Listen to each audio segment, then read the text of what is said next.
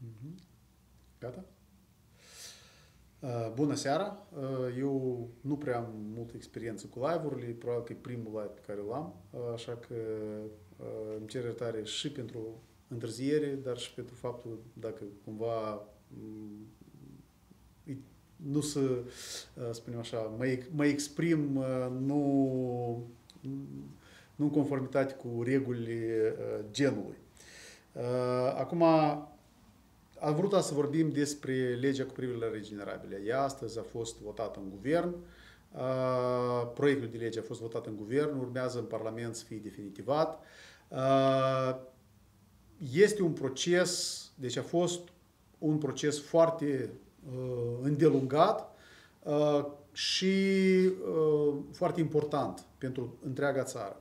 dincolo de faptul că este o obligație pe care ne-am asumat-o în raport cu Uniunea Europeană, dincolo de faptul că noi avem uh, uh, de, spunem, uh, executat niște, atins niște ținte ca țară, este o lege care afectează sau care da, care afectează viețile fiecăruia din noi.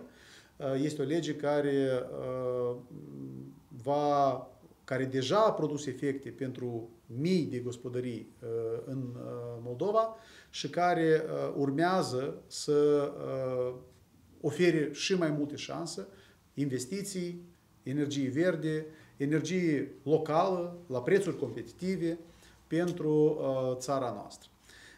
Ce, în esență, am făcut? Noi am încercat între aceste vreo 4-5 luni de uh, consultări publice uh, în care am, au participat, dacă nu greșesc eu, au fost vreo 6 sau 7 runde, uh, au participat diferiți producători,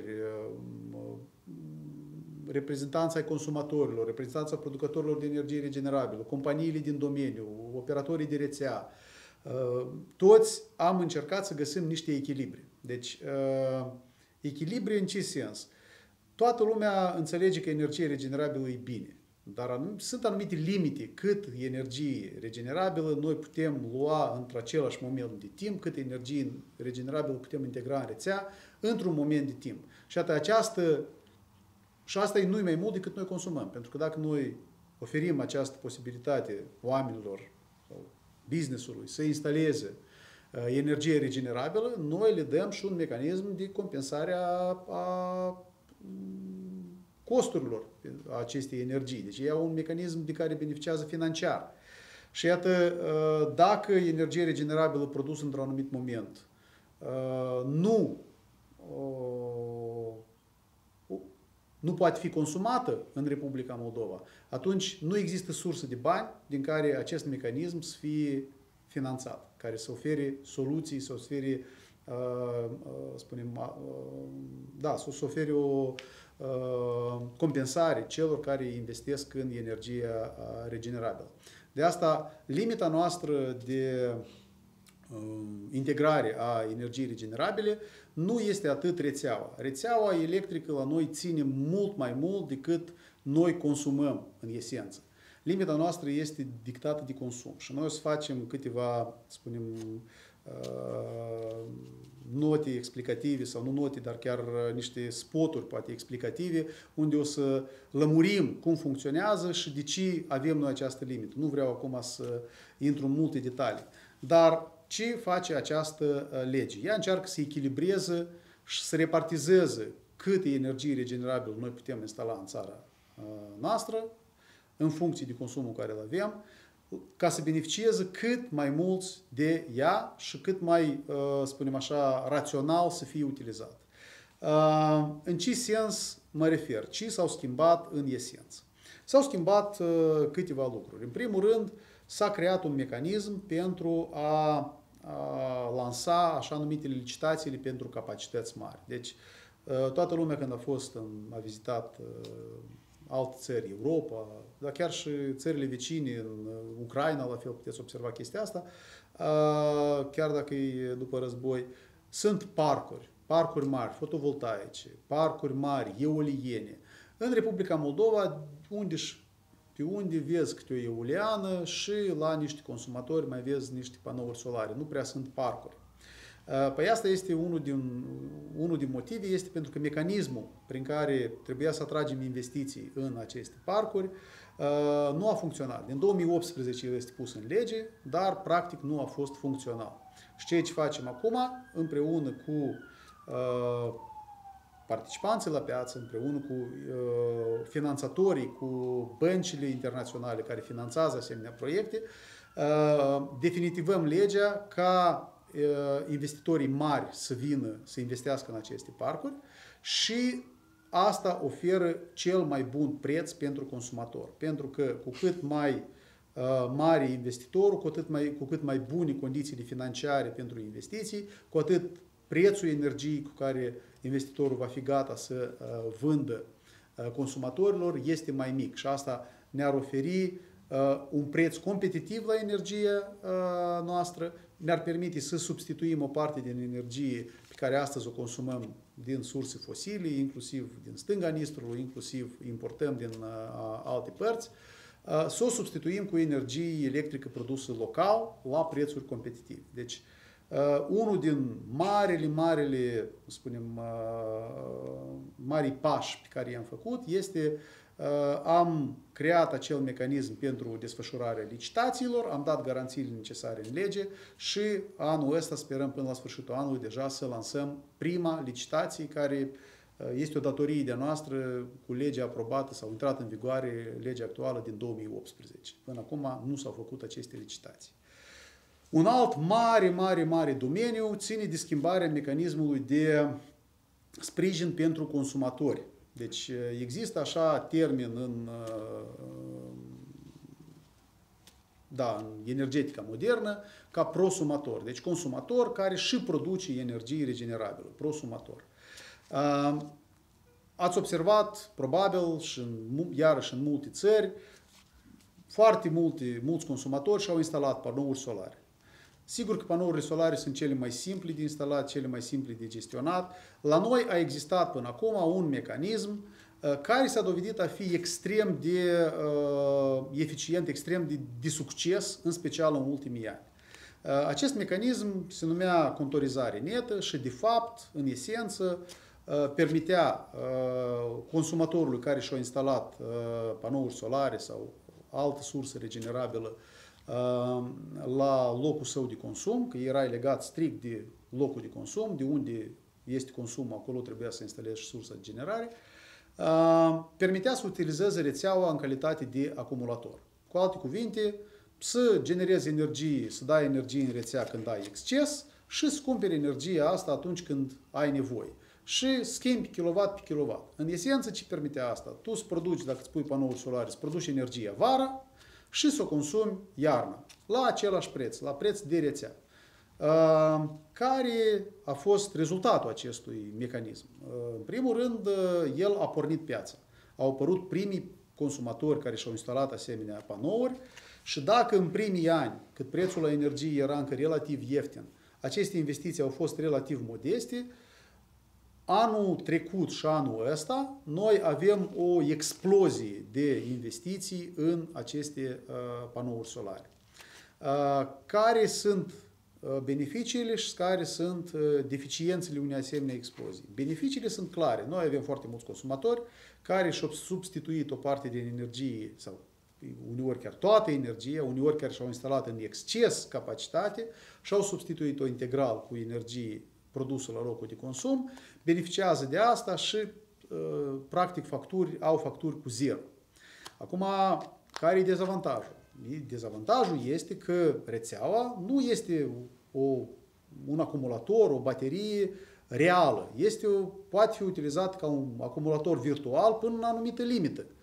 Uh, iar costul acestui acumulator nu îl plăteau cei care aveau panourile solare, dar îl plăteau ceilalți consumatori pentru că ei de fapt întrețineau rețeaua. Deci ce facem cu acest mecanism acum? Uh, îl facem, îl schimbăm, se va numi altfel, se va numi mecanismul uh, facturare netă. Uh, în esență, el schimbă, el devine mai simplu din punct de vedere tehnic, dar totodată mai puțin atractiv din punct de vedere financiar. Unde iarăși e dezavantajul, uh, unde e avantajul și unde e dezavantajul. Avantajul tehnic este că uh, nu mai ești legat acum cu acest mecanism, mai ales că în această lege a mai fost introdus și un nou termen de comunități energetice, adică când mai mulți consumatori se pot grupa pentru a consuma energie uh, din același uh, uh, punct. Această schimbare va permite instalarea deci, ca locul de consum să nu coincidă cu locul unde e instalat panoul. Dacă, spre exemplu, dumneavoastră, pe acoperișul dumneavoastră nu vă încape panoul solar, dumneavoastră puteți să-l puneți în altă parte. Puteți să-l puneți, în general, panourile puteți să le puneți la Vulcănești și consumați energia asta în Chișinău. Uh, mai mult ca atât, asta permite, spre exemplu, uh, blocurile de locuit. Până acum, dacă puneai panourile solare la bloc, puteai să utilizezi energia asta numai la locurile de uz comun. Odată cu definitivarea acestei legi, uh, această energie care va fi consumată în bloc va permite, să va permite sau va fi posibil de consumat sau de repartizat la toți Uh, locatarii blocului, adică să subvenționeze, să reducă uh, din consumul, din factura tuturor celor uh, din acest bloc. Același beneficiu este, spre exemplu, spre, pentru primării. Foarte multe primării puneau întrebarea, uite, eu am aici sistem de iluminat stradal, grădiniță, primărie, mai am, nu știu, obiecte sociale, casă de cultură, Deși eu la fiecare trebuie să-mi caut uh, soluții pentru panouri solare, dacă eu pot să-mi pun, de pildă, nu știu, 20 de kW sau 50 de kW de panouri solare undeva și cu asta am uh, alimentat uh, toată, uh, toate obiectele uh, din proprietatea primăriei sau care sunt în gestiunea primăriei. Acum, Până, până acum, mecanismul de contorizare net asta nu permitea. Trebuie la fiecare loc de consum să mergi separat. Mecanismul de facturare netă, mecanismul nou care îl introducem în lege, Uh, va permite uh, utilizarea, deci mm, instalarea panourilor în afara locurilor de consum, respectiv va permite uh, aceste investiții pentru mai multe obiecte concomitent. Poate fi la un consumator, poate fi chiar un grup de consumatori, așa cum am spus, legea presupune, prevede și posibilitatea creierii comunităților energetice. Acum, care este dezavantajul pentru uh, această, pentru această, uh, în această modificare? Dezavantajul este un dezavantaj financiar pentru cei care uh, vor să-și uh, recupereze această investiție și o privesc ca investiții, spunem, uh, în special ca business. Noi am avut foarte multe cazuri când uh, consumatorii și casnici, dar în special și businessul, au supradimensionat aceste panouri. Și trebuie să înțelegem că fiecare kilowatt care cineva și l-a pus suplimentar din cauza faptului că el pe dânsul aranjează prețul cu care el vinde energia asta în rețea sau kilowattul ăsta îl schimbă pe bani la sfârșitul anului, asta e minus un kilowatt de putere care îl poate instala altcineva care poate ar consuma această energie la locul lui de consum. De asta, cei ce introducem prin această schimbare uh, este că, în primul rând, cei care instalează asemenea uh, panouri vor trebui să achite pentru acumulator. Deci vor trebui să achite uh, o anumită, deci vor, prețul cu care ei vor da energie în rețea nu va coincide cu prețul pe care ei îl plătesc când iau energie din rețea. Și asta e un lucru foarte esențial. Până acum, vă spun, făcea schimb kilowatt pe kilowatt, cât era mai mare tarif, cu atât mai repede se recupera investiția în panouri solare. Uh, acum, atunci când vei genera, vei vinde energie în rețea cu un preț, uh, când vei consuma, vei consuma din rețea cu alt preț. Acum, cât va fi acel preț și care va fi acest mecanism, acel mecanism, uh, urmează a fi stabilit, legea prevede că îl va stabili ANRE, Uh, noi, după ce uh, legea va fi aprobată în Parlament, uh, va fi în redacție deja finală, noi vom face un, spunem, un spot explicativ în care, pe care îl vom publica și vom explica tuturor cum, în esență, pas cu pas, funcționează acest mecanism, care sunt beneficiile și la ce să aștepte consumatorul dacă vrea să investească pe acest mecanism. Un moment foarte important. Noi știm că există foarte mulți care deja au uh, inițiat investițiile în uh, panouri solare în special la locul lor de consum. Sunt foarte mulți care au început deja lucrările de construcție, au făcut, uh, uh, au, au luat avize de racordare, lucrează. Deci, noi, pentru toți cei care reușesc să finalizeze această investiție până la sfârșitul acestui an, așa prevedem în uh, proiectul de lege, noi le dăm posibilitatea, deoarece au pornit această investiție în baza regulilor, legilor, spunem, prevăzute la moment, în baza condițiilor care erau în vigoare la moment, pentru a nu strica și a nu descuraja oamenii ăștia și a nu-i pune în situația în care ei au investit la niște condiții, dar noi eventual le aplicăm alte condiții, noi propunem ca cei care reușesc până la sfârșitul anului să efectueze aceste investiții, să beneficieze de mecanismul de contorizare netul încă 4 ani.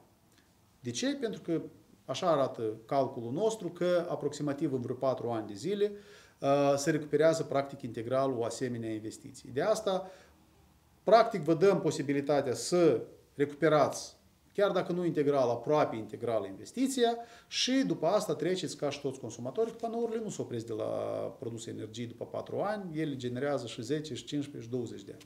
Așa că uh, cei care au reușit deja să investească sau sunt deja în proces de investiții, uh, vă îndemn să reușiți până la sfârșitul anului, să le dați în exploatare, să semnați contractele și atunci încă 4 ani de zile veți putea beneficia de acest mecanism.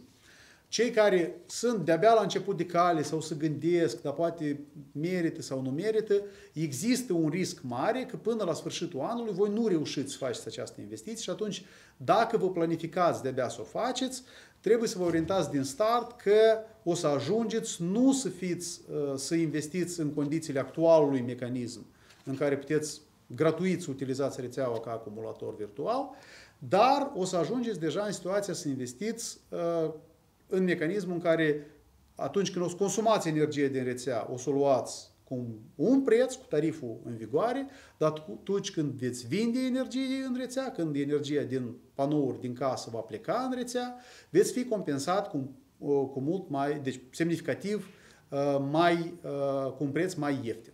Deci, din start, acum nu vă pot spune cât va fi această diferență, asta urmează să o stabilească ANRE, dar în proces de definitivare în Parlament probabil că vom face anumite precizări cum ANRE trebuie să stabilească aceste, uh, aceste diferențe.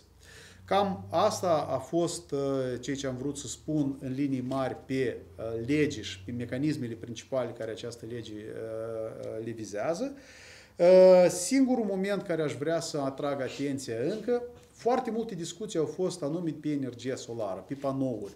Uh, cum facem ca să, cât mai mult uh, panouri să avem în țară. Repet, există o limită. Cât în total panouri solare noi putem integra în rețea, reieșind nu din cât din rețea, dar reieșind din cât noi consumăm. Așa? Și atunci, uh, noi, prin această lege acum, încercăm să dăm niște reguli, să repartizăm aceste cote de energie, deci capacități de energie uh, regenerabilă între consumatori mai echitabil. Să nu se primească așa că cineva își supracapacitează instalațiile, își instalează fotovoltaice mai mult decât consumă și beneficiază și de uh, rețea gratuit ca acumulator, dar altcineva a să vrei să-și pună panouri solare și n-a să poată primi aviz de racordare și n-a să poată face investiția, pentru că o să-i spună că, sorry, dar noi mai mult în uh, rețea energiei nu putem integra, energii solare. Uh, respectiv, ce aș îndemna toată lumea, aș îndemna să uh, ne orientăm și spre alte tipuri de energie regenerabilă. În special vreau să mă refer la biogaz. La moment avem în continuare funcționale mecanisme pentru a compensa investițiile în biogaz. Deci avem cei care vor investi în biogaz vor avea un tarif garantat pe 15 ani cu cât vor putea vinde această energie în rețea. La fel, tot prin mecanismul de contorizare netă voi puteți să utilizați biogazul, dacă e o, un consum, o producere relativ mică și aveți o, nu știu, o fermă care consumă energie electrică, o parte din această energie puteți să o consumați, să substituiți energia din rețea. Ceea ce este foarte important este că pentru aceste tipuri de spunem, pentru acest, tipuri de, acest tip de energie, la moment nu, e, nu, sunt, nu este cererea atât de mare, la moment nu avem, spunem așa, foarte mulți investitori și acolo cotele încă nu sunt împlinite. Vă îndemnăm să vă uitați la acele investiții care, pe de o parte, sunt profitabile și pot aduce beneficii și investitorilor, pe de altă parte, nu creează deranj la rețea și uh, lasă uh, și substituie o parte din energia, cum am spus, fosilă cu energie uh, regenerabilă. Așa că uh, îndemn toată lumea să citească legea, să citească proiectul de lege care pleacă în Parlament. Uh, în Parlament încă vor mai fi definitivări până la aprobare. Sunt sigur că vor mai apare uh, propuneri și uh, odată ce va fi legea definitivată și votată, noi vom veni cu, o, uh, cu niște informații, cu niște spoturi informative, cu niște uh, explicații cum, cum funcționează, de ce funcționează, uh, ce trebuie de făcut, care sunt, uh, la ce trebuie să aștepte consumatorii, uh, care sunt pașii, etc. Deci uh, urmează încă să ne mai auzim uh, de mai multe ori pe acest subiect, uh, dar așteptăm legea. Astăzi am, am, am pășit un, un, spunem așa, am făcut un pas mare pentru că am definitivat acest proiect de lege și l-am votat în guvern. Deja este o, o practic suntem pe ultima sută de metri până, până se aprobă. Așa că vă mulțumesc tuturor pentru atenție. Eu nu știu, aici nu-i formatul, nu se poate pune întrebări, nu am cum să da răspunsuri. Uh, vă mulțumesc pentru atenție și ne auzim cu alte ocazii.